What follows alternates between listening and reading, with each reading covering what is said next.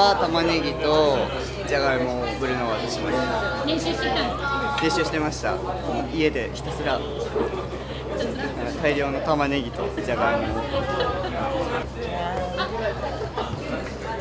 んな感じです。ここ実は友達なんですそう友達なんです。ねそう。何つながりだいや言えないですそれは。ちょちょっと言えないですけど。これすらも聞かないと思うけど多分。